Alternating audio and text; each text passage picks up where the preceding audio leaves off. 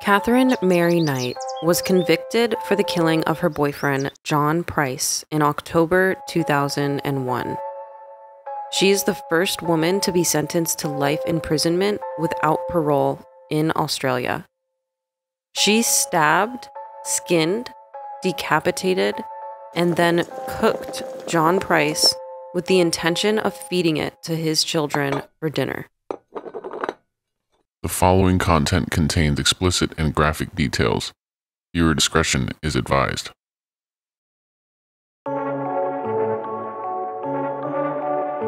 Investigation Hour.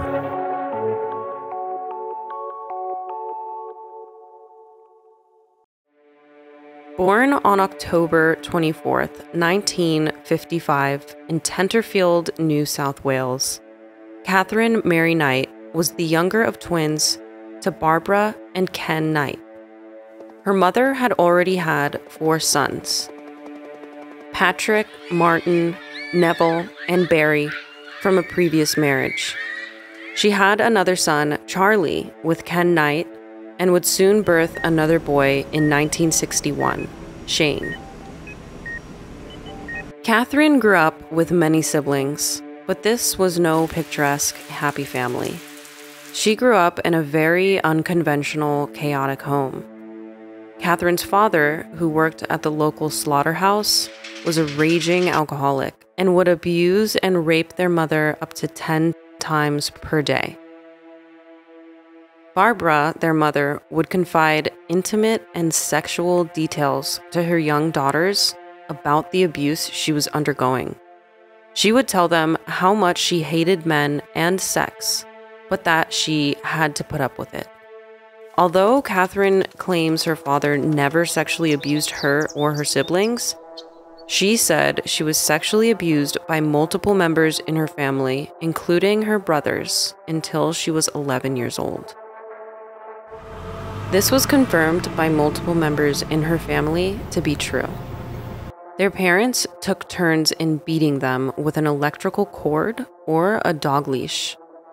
These aspects of their childhood, which was abnormal to most, became a normal day to day for them growing up. In school, classmates would describe Katherine as a bully. She would often get into physical confrontations with students and even a teacher and have fits of violence.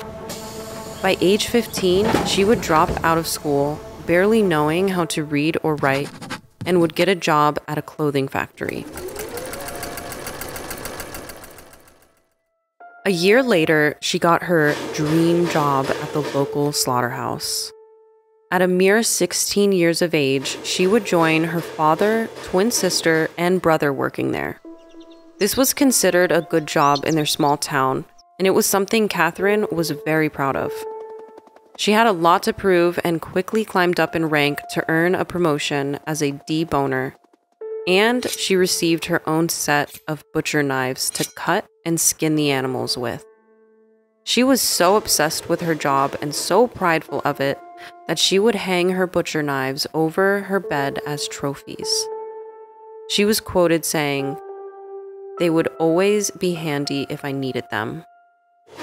Coworkers claimed seeing Katherine often walking over to watch the pigs get their throats slit.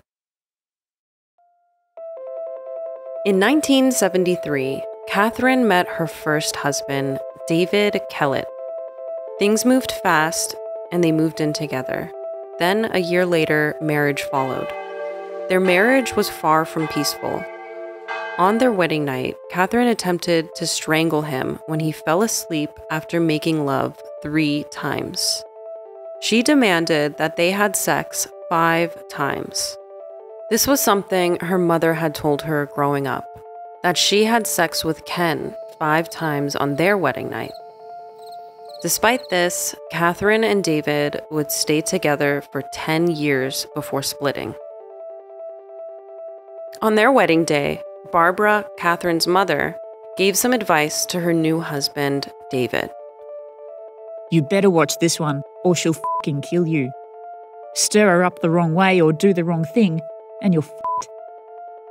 Don't ever think of playing up on her. She'll fucking kill you. After breaking up and getting back together multiple times, David had enough. The birth of their first child, Melissa Ann, in 1976, David left Katherine for another woman.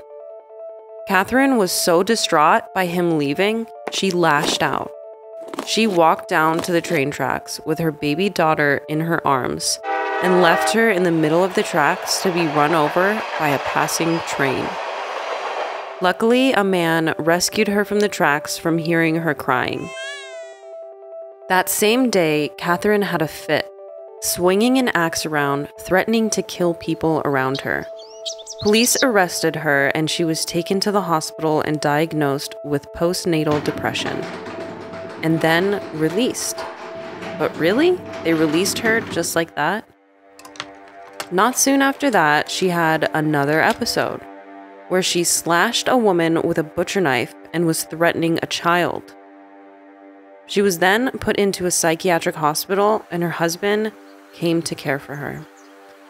Surprisingly, after all of this, David got back together with her, and they had their second daughter, Natasha Marie, in 1980.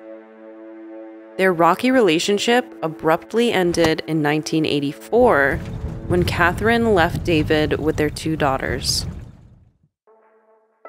Katherine met her second husband in 1986. His name was David Saunders. He was a 38 year old local miner. All seemed well in the beginning of their relationship. A few months after meeting, David moves in with Katherine but keeps his old apartment in Scone.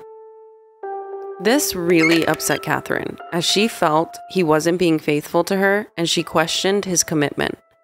She became abusive and erratic with him. They would break up and get back together. In May 1987, they got a puppy together.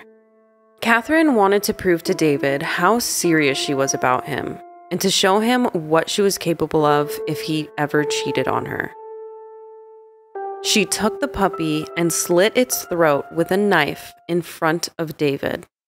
Then she beat David with a frying pan until he fell unconscious.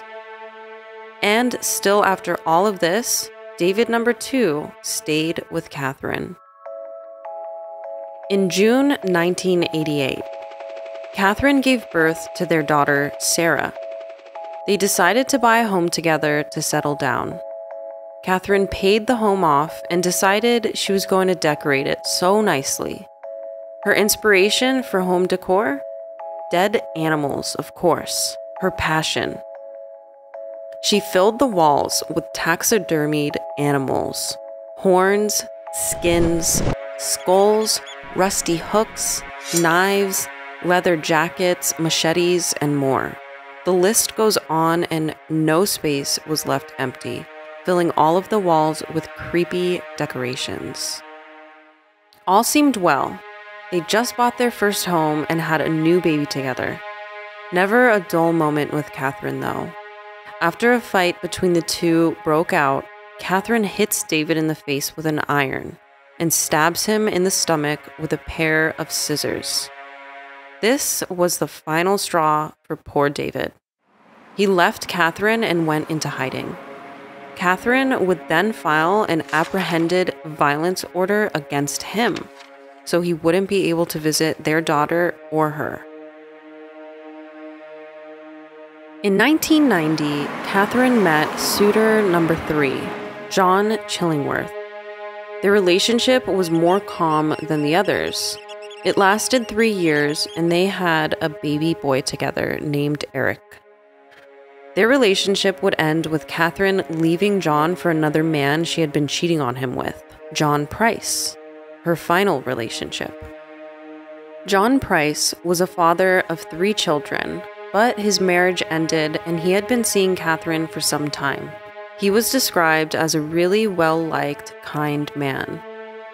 Two of his children had lived with him and had really liked Katherine. John was well aware of Katherine's violent history and he still accepted her. Their relationship seemed really good and they were all really happy together. As time passed, Katherine moved into the house with them, but John was adamant on not getting married, something that Katherine really wanted with him. This triggered Katherine, and in retaliation, she sent images to his boss of stolen items John had taken from work. Granted, the items were medical kits that were thrown away, he was still fired from his job. After working there for 17 years, he was making a really good living, and in their small town, there wasn't much work. He kicked Katherine out of the house and had had enough. Somehow, Katherine really knows how to get these guys to come back to her. John and her got back together, but wouldn't let her move back in. John had told his friends and family of all the abuse he was receiving from Katherine, and many distanced themselves from him. In February 2000, Katherine assaults John and ultimately stabs him in the chest. She, of course, told police it was in self defense and filed a restraining order.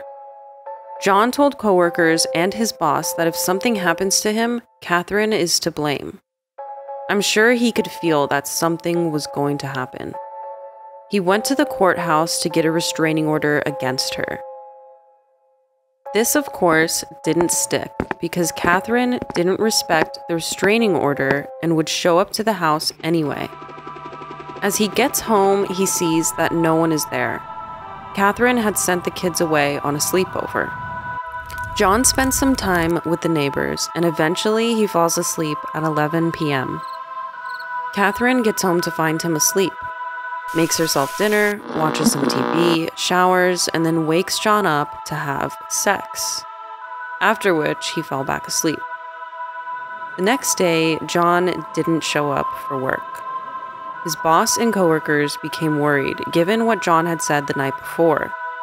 If anything happened to him, it was because of Katherine. His coworkers drove to his home and noticed his car was in the driveway. They knocked, but there was no answer. After noticing blood on the front door, they alerted the police. The police break into the home and blood is everywhere. Blood splatter and smears littered the walls and the floors. There was even a large pool of blood in the hallway. Forensics concluded that Price was stabbed with a butcher knife in the master bedroom while he was asleep.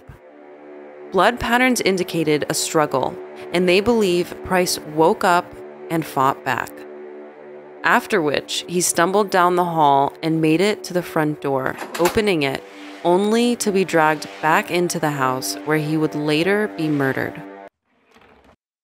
Price was stabbed in the front and back of his body 37 times, puncturing vital organs like the liver, stomach, both lungs, aorta, kidney, pancreas, and colon. To stab someone 37 times shows incredible rage toward that person. Many of the stabs occurred after Price's death, indicating Katherine couldn't stop herself from inflicting more wounds. This wasn't just about killing John Price. After she murdered her boyfriend, Katherine showered, got his ATM card, and took out $1,000.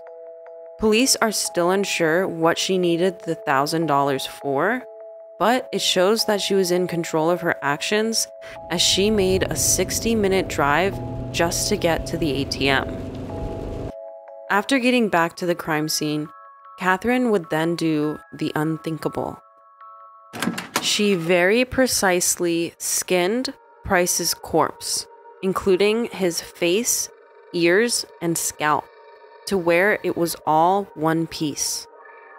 She then hung it like a trophy on a meat hook in the hallway at the entrance of the home. Her knife work was so precise, the coroner was able to place the skin perfectly back onto his body and sew him up. As police entered the home, they didn't even recognize what the skin curtain was until they found Price's body. His body was discovered in a deliberate fashion with his left arm over an empty bottle and his legs crossed, sitting in an armchair. This position she put him in shows the disdain she has for him, and that she wanted to mock his death.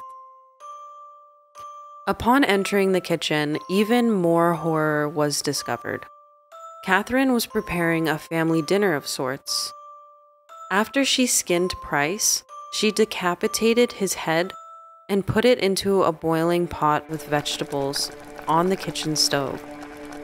She cut off meat from his back and buttocks and cooked it in the oven. She even fed some to the dog while she waited. The pots were still hot, and forensics said she got up early to cook and it had been cooking for hours. The table is set and with name cards of Price's two children and handwritten notes next to each place setting. She intended on serving his two children their father's meat for dinner with a side of vegetables. Police go upstairs to find Katherine in bed, sleeping. Bottles of sleeping pills are strewn about next to her. She's unable to wake up. They remove her from the crime scene and she's taken to the hospital where she lies in a coma. After awakening, she claimed to have no recollection of anything that night.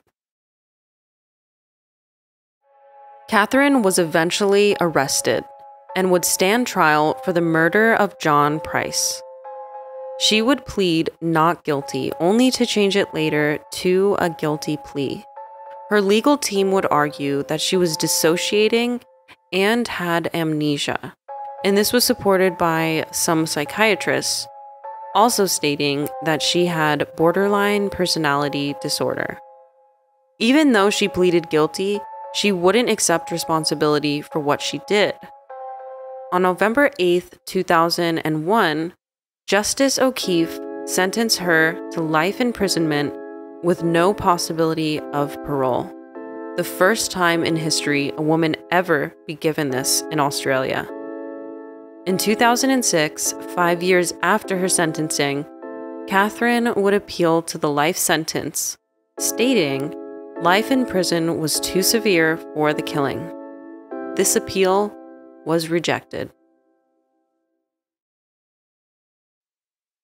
Thanks for listening. If you're into solved and unsolved crimes and strange mysteries, subscribe to us so you don't miss out on our weekly videos released every Monday at 2 p.m. Pacific Time.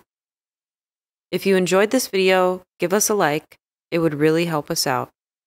Until next time.